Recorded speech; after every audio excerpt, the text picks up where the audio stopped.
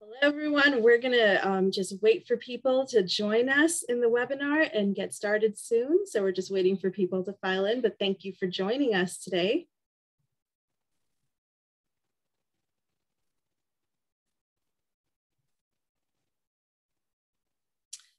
So good evening, book lovers. Thank you for joining us for what I know will be an illuminating conversation with Sara Blanchard and Misasha Suzuki Graham, hosts of the popular Dear White Women podcast, and now authors of the new Dear White Women book. My name is Grace, and I'm the events producer for University Bookstore in Seattle, Washington, the oldest indie bookstore in this region. In fact, we're celebrating our 121st anniversary this year, and we wouldn't be here if not for the support of you all. So heartfelt thank you to each of you.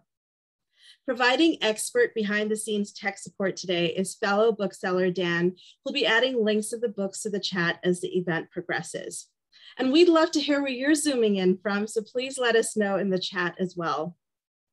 Sara and Misasha will be in conversation with Dr. Anu Taranath, and talking to us about their new book, Dear White Women.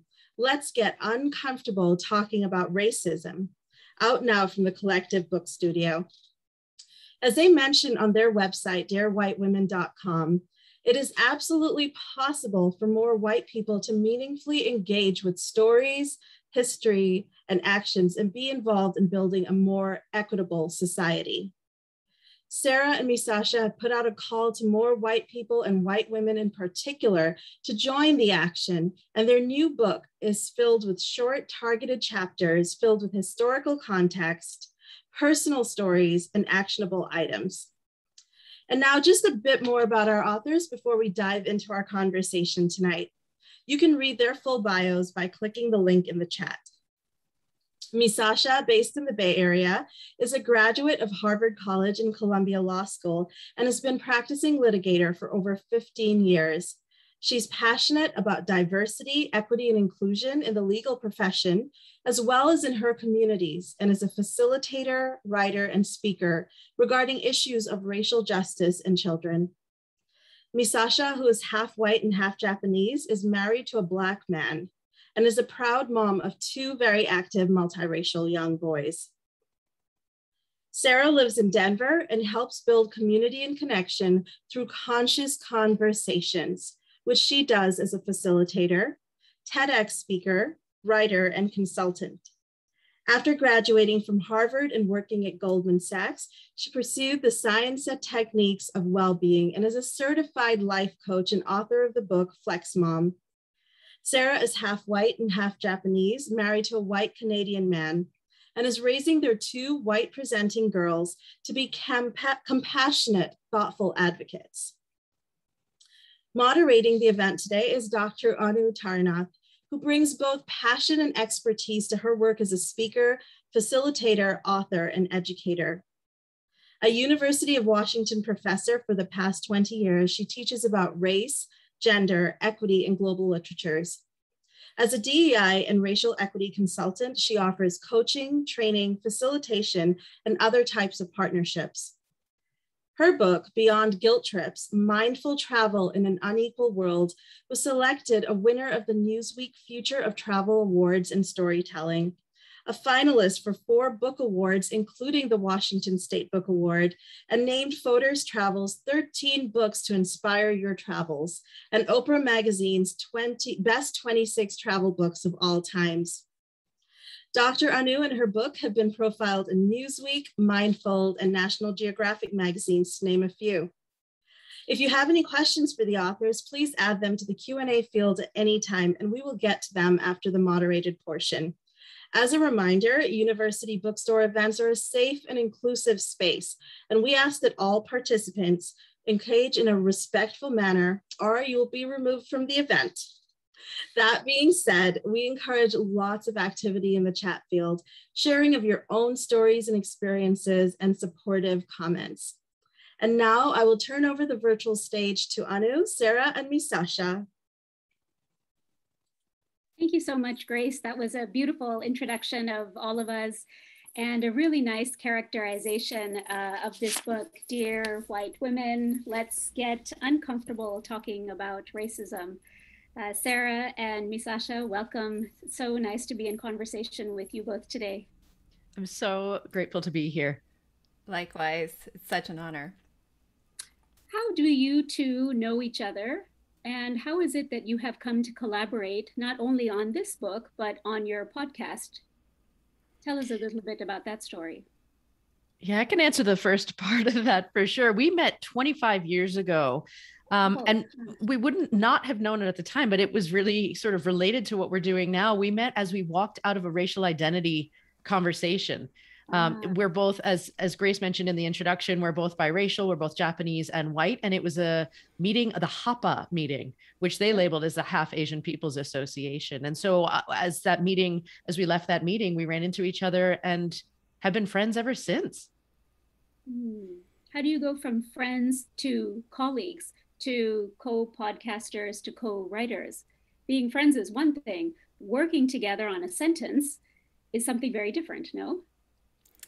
It really is. Mm-hmm. Um, and first, I have to say that as the um, granddaughter of a former UW history professor, it is like, um, you know, and spending a lot of time in the university bookstore, it's such a pleasure to be here um, and talking to you, a UW professor as well.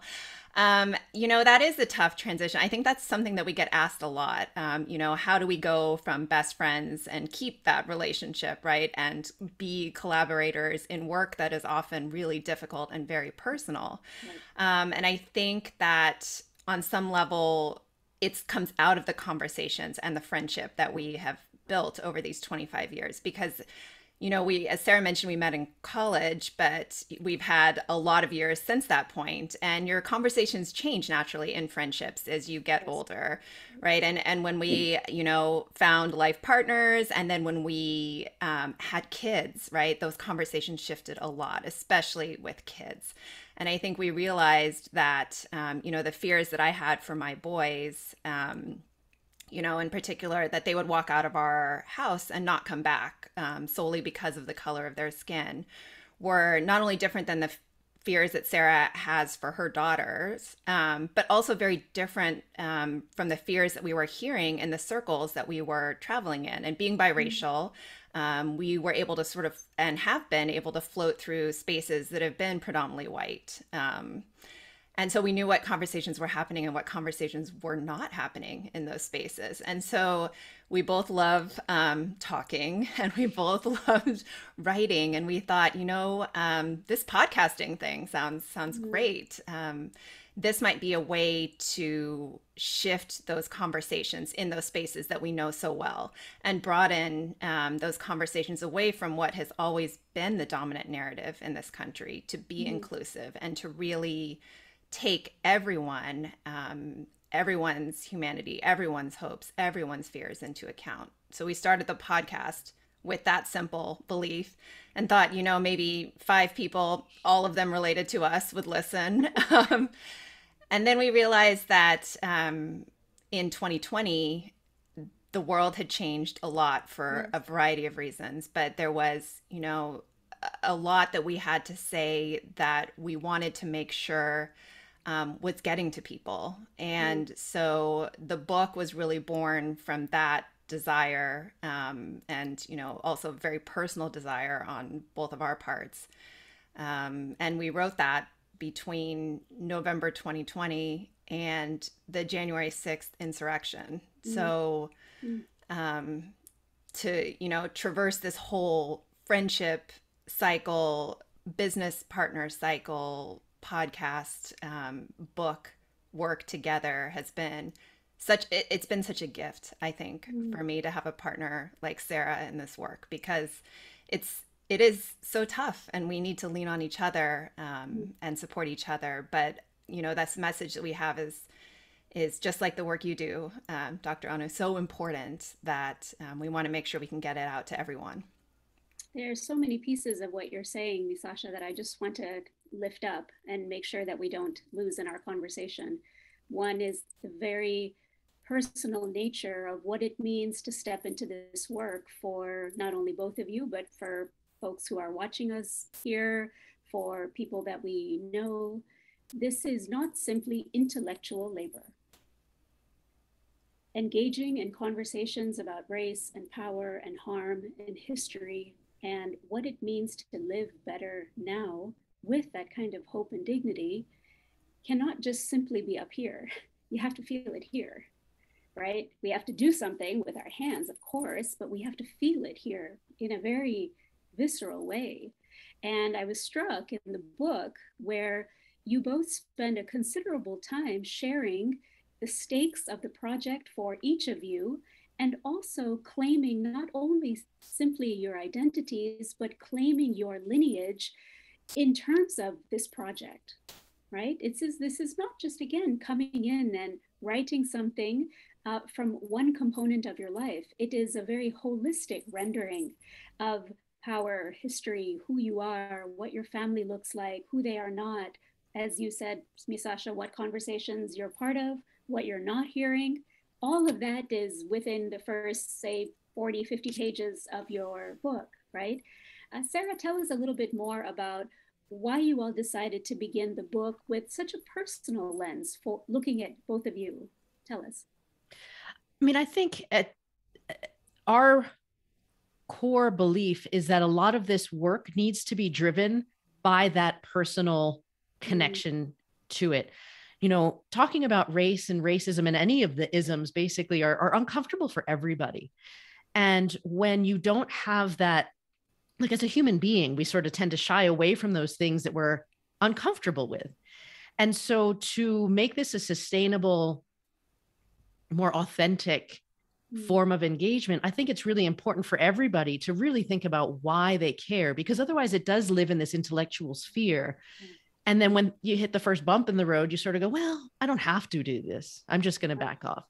And so I think that was where we wanted to also explain our why and and mm-hmm. share that we can all look at our own history and our own lineage and our own you know involvement in our own identities and and our friendship circles and find those whys by really looking inwards first as we start this work. Mm. You know, um, Misasha also mentioned the fact that you all have known each other for so long. And Sara, you mentioned, you know, coming out of a, of HAPA meeting many years ago. Uh, I am also noticing in my life that the friendships that I've been able to share with people over time have not only given us a sense of grounding, but they also give you a like a landing place to come back from traveling through different ideas, right? Somebody who knew me when I was 23 uh, is knows me from a very different time of my life and my intellectual and sort of holistic development than you know now as a middle-aged woman in a very different part of her life and i love that your collaboration is punctured, I mean, is punctuated by these moments of love and friendship and families blending together because you've got that place to land. You can dream, you can think, and you have that beautiful place to land. What does that place to land look like for both of you as you are struggling, I'm sure, through figuring out how to work a podcast, how to draw in listeners, how to write together, how to get a book published. None of this is easy work. It's passionate work, of course, but none of it is easy. And so, how has that landing place of a long friendship and love between you all, how has that helped the process of the projects that you've been working on?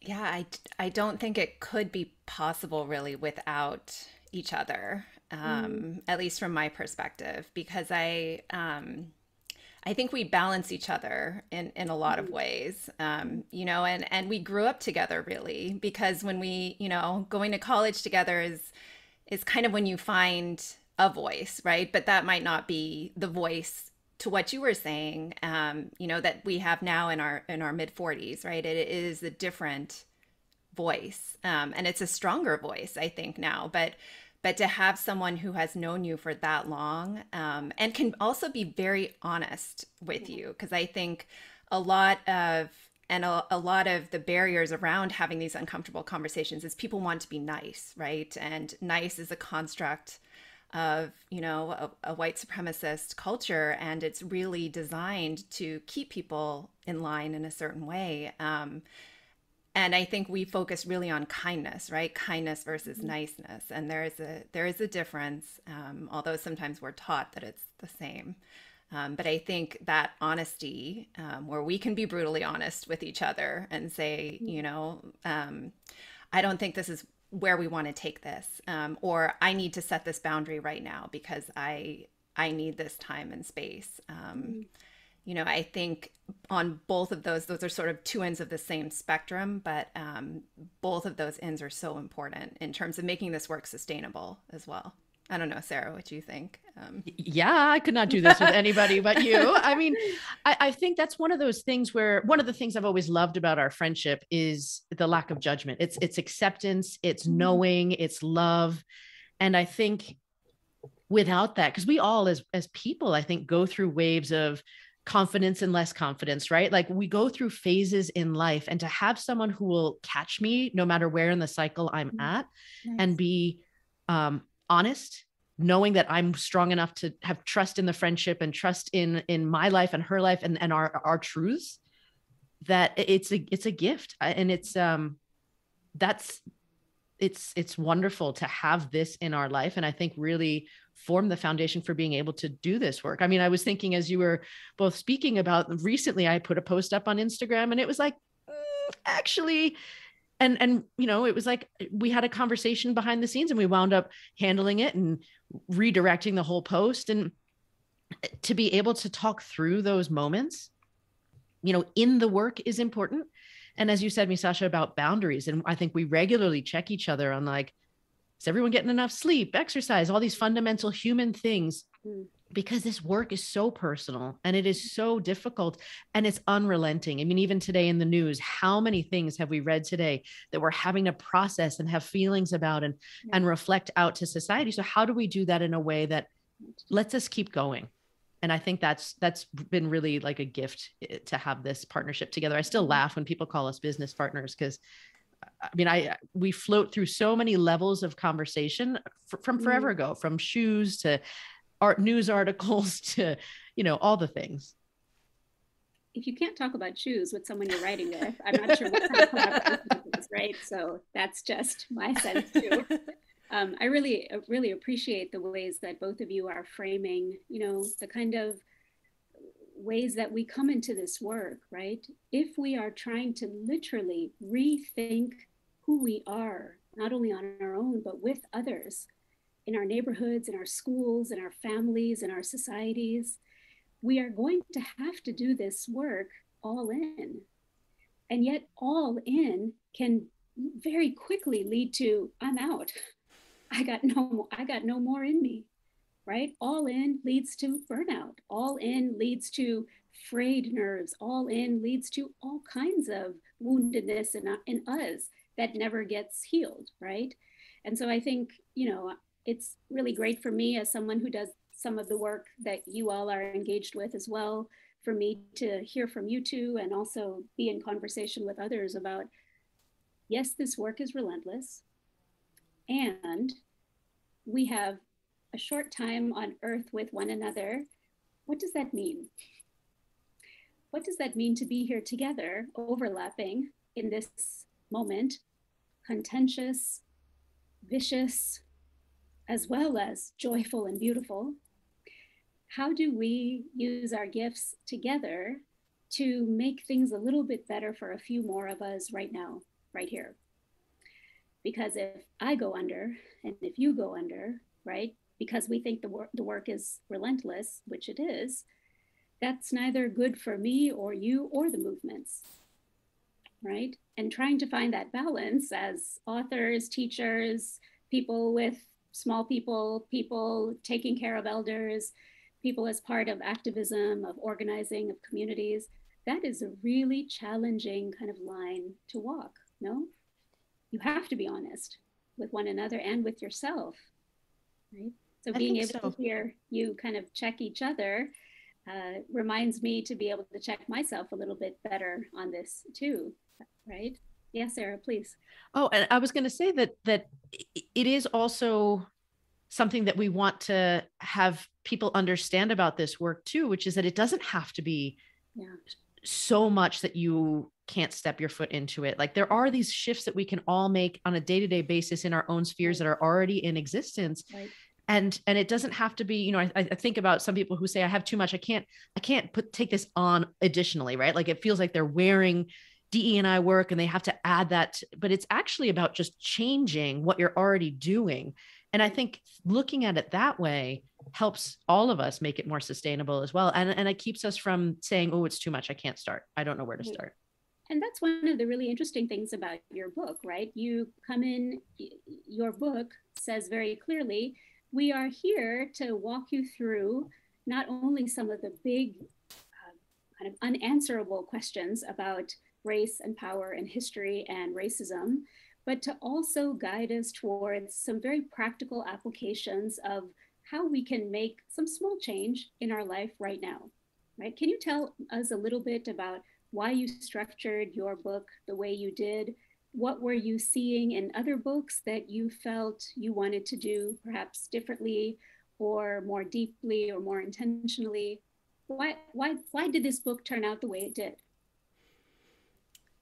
So that's a great question. Um, you know, I, I think first the overall, to the point um, that you were talking about with the practical tips in the book. Mm-hmm. Um, when we wrote this book, we had already been hearing from people who had sort of bought all the books um, in in June of 2020, and then you know may or may not have read the books. Um, but those books, right? They bought right. them. Um, so but those books are really intellectual a lot of them um, which is important right it's important to understand theory um, as mm-hmm. well um, but i think it, it, left a lot of people with the question of okay so what do i do mm-hmm. and when that is not clearly spelled out then you know you read the book and then you get busy. And also this was still you know in 2020 and 2021 and we are still dealing with covid and so many other challenges and people to what sara was saying earlier feel overwhelmed and feel like mm-hmm. This is something I, I, I cannot do.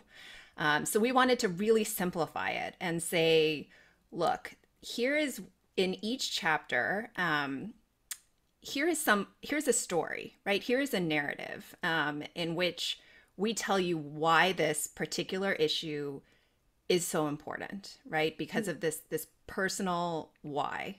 Then we tell you a little bit about the history that behind this issue, which you may or may not have learned in school, possibly not, um, especially right. Um, you know, and then we move on to a act, which is the section, that third section that says, okay, you've heard the story, you understand the history um, a little bit more. And now these are the things that you can do armed with what you know now. And so we wanted mm-hmm. to make those connections very clear so that people could feel. Um, you know okay and feel like oh we we have i have the agency to act even in a small way it, you know if it's talking to my school about what's being taught um, in the curriculum right if it's um, you know looking at like committees at work and saying mm-hmm. like who is on our hiring committee who is on you know our recruiting committee who is on the partnership committees or you know the promotion committees um, mm-hmm.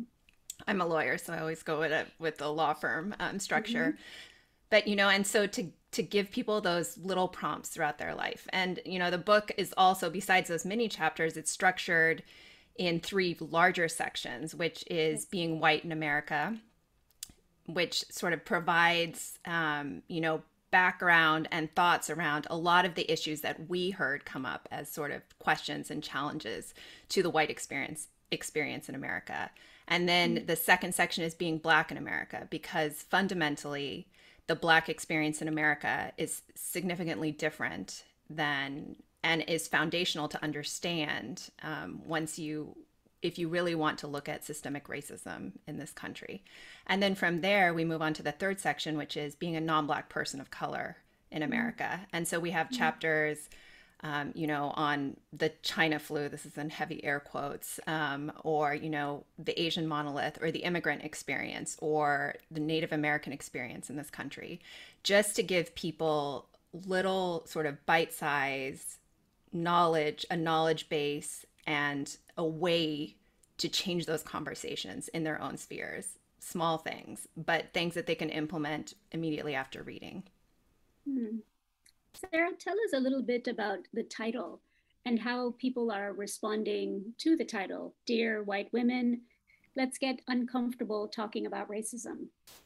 Yeah, I think the the dear white women part is definitely the part that gets people's attention and we purposely chose I mean, it's the title of our platform too, right? Of our of our podcast, and we purposely chose to stick with it um, because it is not comfortable necessarily to be eh, to be honest but we didn't want to pull the wool over anybody's eyes because talking about racism is not comfortable as i said earlier for anybody but one of the things you know the, the range of responses has been fascinating misasha i mm-hmm. think you right like we've had people from one end saying calling us racist mm. because we named people white mm. and and to that i think it is a level of discomfort because people aren't used to being called white but they call people asian or black or you know all all of these other races but we don't often talk about white and being white and whiteness as much and so that definitely caught some people off guard but really the reason we called it this is because women in particular have so much power power that we don't necessarily as a society acknowledge about women whether it's you know if you look at our absolute numbers the the voting power that we might have or the power we have in our workplace or in our children's schools or at our kitchen table. Like women mm-hmm. have so much influence. And white women in particular also have the like extra part of it where you both understand what it is like to be white but also have a little bit more empathy because of sexism you sort of understand what it's like to say not be able to wear whatever you want as you walk out the door at dusk, or just that sense of fear that some people might have based on how they show up in the world. And so we wanted, as Misasha said earlier, to really reach this group of people that we were able to, you know, we know has so much potential of influence and also that we are so familiar with because of our circles and our friends and and the places that we've been able to sort of you know be part of and and notice mm. I don't know if Misasha, you want to answer a little bit more. I know often you take that question. So, I mean, I, I we got I, I got asked that question by my mother, who is a white woman. Um, mm-hmm. You know, because it I think that um, it can come off as confrontational, and I and and but that's not the intention um, at all. I think we, you know, to what Sara was saying, um, this is a group that has a large influence that mm-hmm. is often undervalued. Um, and if this particular group um, can use that power that comes with being white in America and being women, um, that would be something. I mean, that would be actually game changing for how our country works. And, um, but we, but that group has largely not been able to organize and so there and and you know we know that those conversations aren't always happening or the the conversations that happen sometimes when people recognize that we are biracial um, are different than the conversations that happen when people assume that we're not mm-hmm. So you know I, I think that the more that we can continue to have these conversations the more that we can make people ask why did you call it that? You know the the and i think that's you know partially why we want people to ask that question because we want to be able to tell them why. And the more that we can continue to spread the why um the the that just i i can't even fathom sort of the power that mm-hmm. and the differential that power shift that could happen that's interesting that folks find the title confrontational. You know i found it really gentle a very gentle title uh, and a, a gentle read. Uh, you're not you're not sugarcoating things but you're also not saying because you are white or because you have x or y types of privileges you are unsalvageable and the movement needs you not that's certainly not your take it is absolutely the opposite it is because you hold so much power because your life whether you've noticed or not, has been greased by various privileges, historic and institutional and cultural and social, right? We'd like to A, help you see that, B, give you some history and some context for why that came to be, and C, move you through that, that paralysis and guilt that we're often swimming in to seeing how you can actually use some of this knowledge to make a little bit of changes in your life, right? I found it to be a very gentle and inviting read, actually. Part, maybe partly because I do some of this, and I, you know, I maybe I've read lots of actual confrontational work, uh, but there's something really accessible about this book that I think many of your readers might appreciate. Have you been hearing that? We have. That has been so rewarding. That was our intention. Yes. And sometimes you never know how it'll land, right? But but that has been the incredible feedback that we've been given about the tone, about how welcoming and warm it is. Nice. It's not shaming anybody. Um, because there's also the truth, which is that, you know, in our country, history is not taught evenly throughout the states, throughout the cities. And so sometimes we just don't know. We're not taught. And so it is what it is. And we want to provide this baseline level of education so that we can all have a level playing field from which to build. Um, and so, yeah, we worked hard on that tone and we're really, really pleased when people oh, reflect that back to us. Mm-hmm. Great.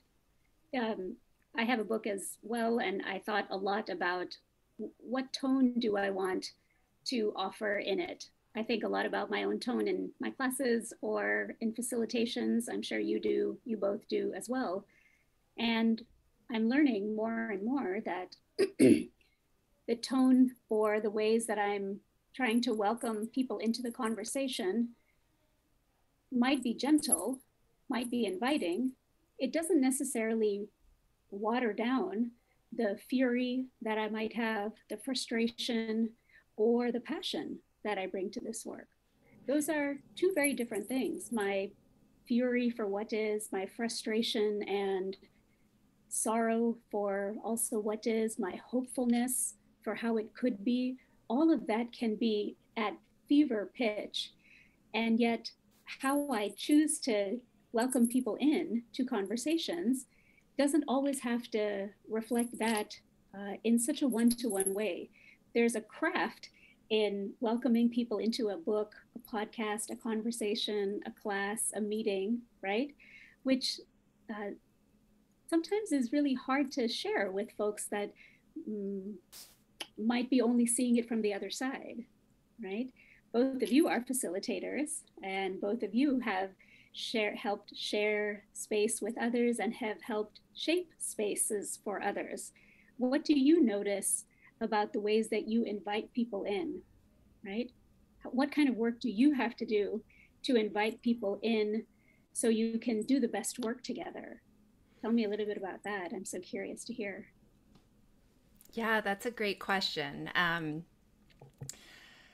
I think that you know, I loved how you put that, you know, that everything else can sort of be at a fever pitch and the tone that you take is is um is one of welcoming and, you know, it, because that really to me speaks to the desire to have actual change happen, right? Mm-hmm. Because I think that um, I, I, think now about a lot of the work um, in talking to schools and parents um, and um, you know, being asked um, questions of parent by by parents of white children um, that as a parent of kids of boys who are seen by the world as black some of those questions are really difficult for me mm. to answer because mm. um, you know I, I will give you an example um, I, there was a mom who had said like I, I really of a eight year old, I think, seven or eight year old, and said, I, I, really don't want to talk about racism with my kids because I don't want them, um, you know, to be traumatized. And so, and she says this, and I'm looking, I mean, I'm looking at her through the Zoom screen because this is, you know, and, um, and I'm just thinking, like, I, you know, I have to talk to my kids about this regularly so that they can survive outside of our house. Um, mm-hmm. And you know, there is an extreme privilege in in saying that, but but how I I have to answer her is is not you know, and I, I did say that there is privilege in in you saying this but at the same time it didn't just end there right mm-hmm. we we need to talk about and I'm having her see me as a mother as well, right? So we tap into, I think, tapping into the humanity, right? And and seeing the commonalities that we have, right? We're both mothers. We mm-hmm. both don't want our kids to be traumatized, right? So how are we going to get to a society where that is true for everyone, right? Mm-hmm. And so I think that once we can align on, you know, what we have in common, fundamentally, because we have so many things in common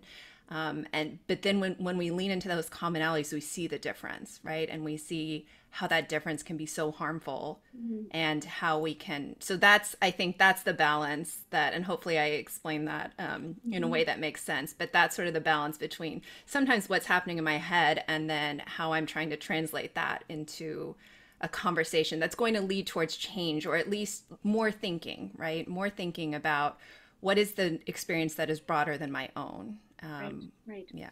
I love that last line. What is the experience that is broader than my own? Um, more and more recently, a line that becomes really important for me is I am but one life in this world. I am but one story in this world. And there's a humility in knowing that my experience certainly matters, and yet I'm just one.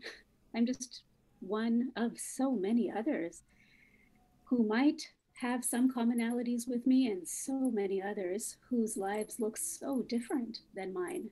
And what's my role in being able to hold the complexity of what I just said?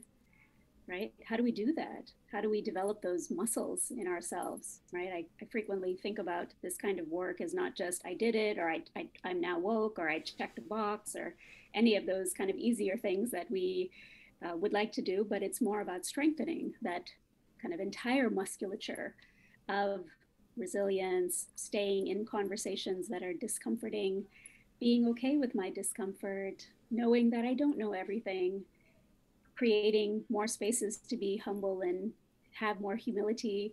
All of those are muscles that we practice. We don't often know how to do any of that. And our culture doesn't certainly teach us how to do much of it, much of that, right? It teaches us how to one up each other. It teaches us how to divorce ourselves from what's going on. It teaches us to swipe quickly if we're un- if we're uncomfortable in any way. And so being able to stay in that conversation, whether it's in real life or whether it's in Zoom, and to say, oh, so when I say I don't want my child to be traumatized, there's sweetness in it. And I'm also doing a disservice to my child, to myself, to my child, and to your kids, and to our society, right? There's something really incredible about being able to use that commonality to stretch, right? I want to ask you both a little bit um, about who you are. I, I, shared earlier that the first part of the book uh, kind of grounds both of you in your identities and your families and your stakes and uh, positionality. It's also really important to notice that the three of us are non Black people of color. The three of us are racial equity, DEI practitioners, uh, and we convene spaces in which we are non-Black people of color, right? What has it, what are some of the thoughts and the conversations that you both had as non-Black people of color, Kappa women, working on a book that is titled Dear White Women, and also having a big middle section that's that is around the experience of African Americans and Black people. Share a little bit about that, please. I mean, I definitely had the "Am I allowed to be here doing this?" And I think I even say that at the beginning of the book.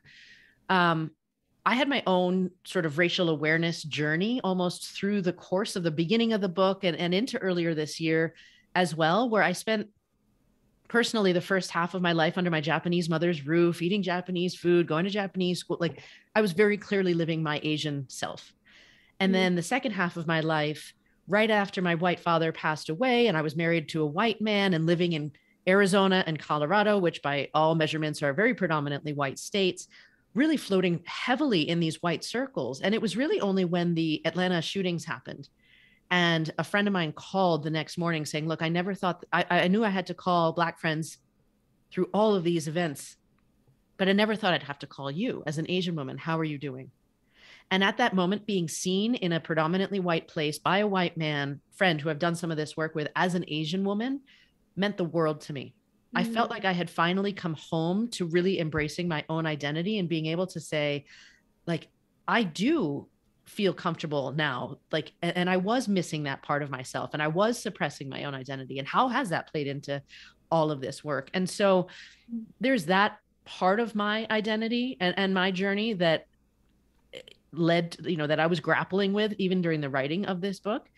Um and i feel so much more grounded in that. And i think there was also a lot of conversations that we mm-hmm. had where we spoke with our friends of color because i don't think either of us presumed to tell how black people felt with that like from our perspective right? That had to come from the stories from our friends from our our families from our you know just our community colleagues. I think all of that is where we tapped into it. And i mean sasha you can talk more specifically about that second section but um you know i think we really were mindful mm. of sharing these stories with respect and not on behalf of anybody if that makes sense if that's the right languaging that i'm trying to find here mm. it's it's subtle and tricky you know right? We say use your voice, use your privilege, use what platform you have to bring in the voices of others who might not have the same platform that you do. How we use that voice is very tricky, right? Very tricky. Misasha, yes. add on, please. Yeah, it's definitely tricky. And I mean, having um, my husband, who is black, um, I think there has not been a day in this house that we have not talked about race in some form. Um, and he has also been a big check um, on me. Um, and, you know, in writing this book, and in particular that second section, um, it was something that, to, you know, your point about that line being very fine and difficult, right? I, um, not being black, um, you know, we didn't want to speak for black people. And so, but some of the history that is out there, some of the history mm-hmm. that we know was not being taught in schools, um, you know, some of that is so important. And to share the narratives that we know um, and, and have, you know, people have trusted us to tell. Um, to share those and then to talk um, and you know those act sections were really written with after talking to people black people asking mm. what is it what is it that would make the imp- like the impact and the change and you know i've had a lot of conversations in particular with a number of uh, black people in my life in particular my husband about our voices in this work. Mm. um, and because there are different reactions around having our voices in this work and he was he has always been very adamant that um, there needs to be all voices in this work and everyone has a different perspective and reaches different people. And so how you reach the people is very important definitely but to silence voices um, means that you're also losing that opportunity to make change. Um, as long as those voices are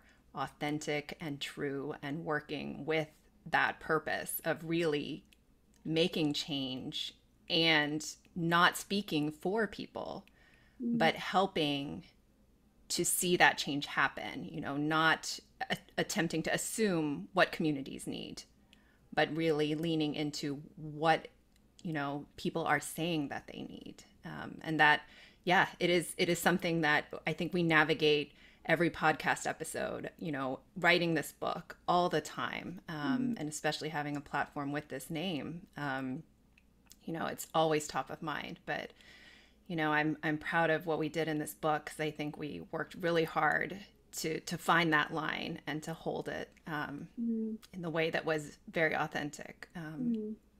yeah, in our voice. To find that line and to hold it, and to also know that sometimes that line shifts depending on the context.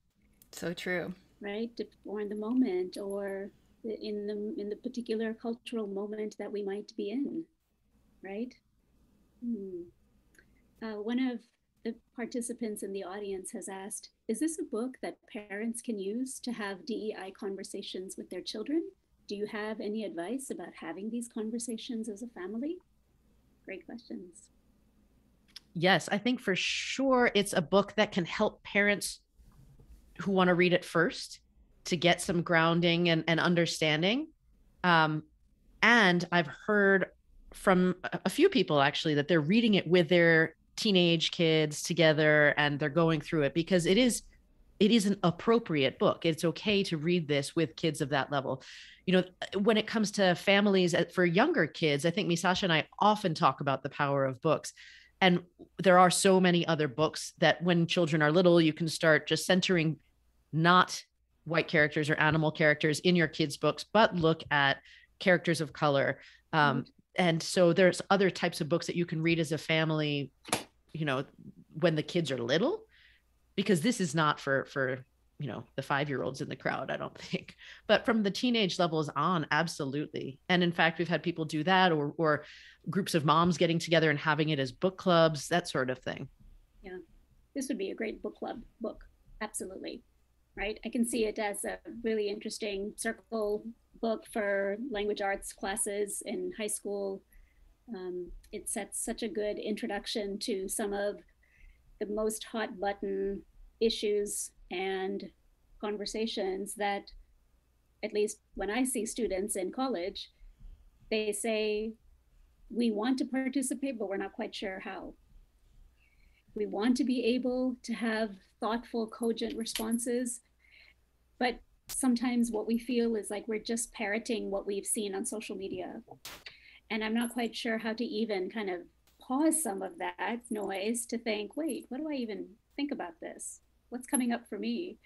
How does what happened landed on who I am? And how does it raise all kinds of hard questions? And how does it raise all kinds of things and passion in me? Uh, my students have had so little opportunity to do that. And the more time that we, or, or the more opportunities that we give young people to be able to sit with each other, themselves, with, I think, a smart book to say, hey, how's that landing for you? Did you know this? Did you learn this? How come you didn't? What does that mean for you now? How do you want to, what do you want to do differently about this now that we know a little bit more about redlining or now that we know a little bit more about how race, uh, how children understand race from a very young age? What did you notice? I mean, the kind of questions that you ask in this book, I think, could be so applicable for teens onward, right? I'm really glad that it's being taken up uh, in book clubs and in other kinds of groups. I can imagine uh, it really growing in popularity uh, as more people become aware of it.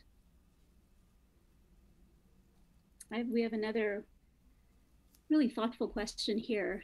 Have you found that talking with white women about their privilege and power has landed differently with them from both of you? Meaning, are they more open as it is coming from you both as non Black or Brown women? I ask this as a Brown woman who has been told that, quote, I make it about race when I'm attempting to start the conversation about that with white women.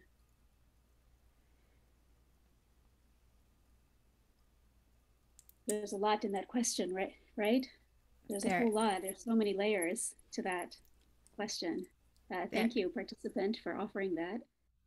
Yeah, I, I love that question. I think um, it is a really thoughtful question. Um, and Sara, I'm curious to hear um, what you're going to say too. But um, I think yes, yes, yes, um, in a lot of ways. Um, I have heard people um, when I've talked about my kids, I have heard people say that they have a like a mental disconnect between seeing who I am and then me talking about raising black sons, right? I think mm-hmm. um, mm, yeah. that it is both um, easier for some people to hear and harder for some people to hear. So it's not it's not a clear um, mm-hmm. one way or the other. I do think that um, Sara and I are, are um, more accepted in certain spaces than we would be um, if we were black or brown, for sure. And mm-hmm. Um, and people are more receptive in certain ways than they were they than they would be otherwise. Um, definitely, I think that um, knowing white spaces as well as we do, and having been considered white in white spaces um, by people who don't know our our um, history creates this level of familiarity, whether that's right or not. Mm, um, yeah. That has been something that I think um, has helped us with addressing this particular group um, mm. in certain ways. I think it does it does land. The reason I asked Sara what she thinks is because I think it lands a little differently sometimes when we talk about our kids because um, our parenting experience is different, and I can't tell. Um, sometimes I think that that is a barrier um, at times um, mm. when I talk about my boys versus Sara talking about her girls. I don't know. Maybe that's what I'm perceiving, and that might not be true. Mm. It's such a, um, an uncomfortable truth, isn't it? This mm-hmm. yeah. that that we will the same message can be received differently coming from different faces. Mm-hmm. And it's interesting, Misasha, you talk about people saying the disconnect between your face and raising black boys, because I think what gets in the way is often these stereotypes we have about people. Like say say if you know you're a brown woman is is how you described yourself uh, i think it's cynthia. You know there's this there's all these stereotypes about people with dark women with darker skin and and whether it's a black woman a brown woman like the you know there's the the angry black woman trope for example. So then the person has to potentially not be able to express her full range of emotions otherwise would just be seen as a character caricature of herself. And so there are all these barriers that come to to expressing their people's truths based on on how they're being seen. And i think um that sucks. Mm-hmm. and and i i think it is interesting to think about how this message is seen because i mean i think at the same time i've been told you know not everything's about race. And i'm kind of like well it kind of is uh, in a lot of ways. But we're seeing almost, I think my kiddos, for example, who present as white, and and my I have a, a preteen, and when she says, and I share some of the stories that she has, you know, participated in, whether she's speaking up against someone who made an anti-Asian comment or doing whatever, it's like, wow, great job. Like she's seen as this advocate versus someone who's defending themselves and that's a different energy you know mm-hmm. and somehow we applaud the people who stand up for others but if they're standing up for themselves it's seen in a different energy in a, in a different way. Again when it's the same message. And so you know to the extent that we can use our facial appearance to continue to spread the message and hopefully get it into people once people are aware of that pattern they may start to shift their reaction. They're more conscious of their own like knee jerk reaction when people are saying the same thing looking a different way. But until we get to mm-hmm. that point where we can reach everybody and and sort of open that level of consciousness, I think that's why we again advocate for more white people, people who can fly in these circles to to be aware and speak up and and use their voices whenever possible to make more people aware of that difference and how the message is perceived.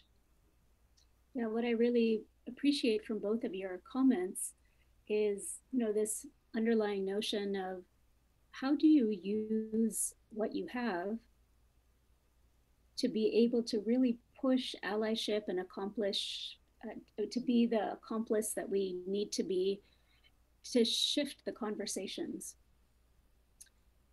that can ask more critical questions that can dip into the discomfort that can stay angry when they need to be that can hold the frustration those are the conversations that are more raw and real and truthful. And we will have to be more raw and real and truthful to ourselves and to one another if we actually want to change anything, right? You can't bypass the rawness, you can't bypass the feeling and say, put the feeling a little bit, that's a little too much for me. Just just tell me the tip, just tell me the tool, just tell me what I need, right?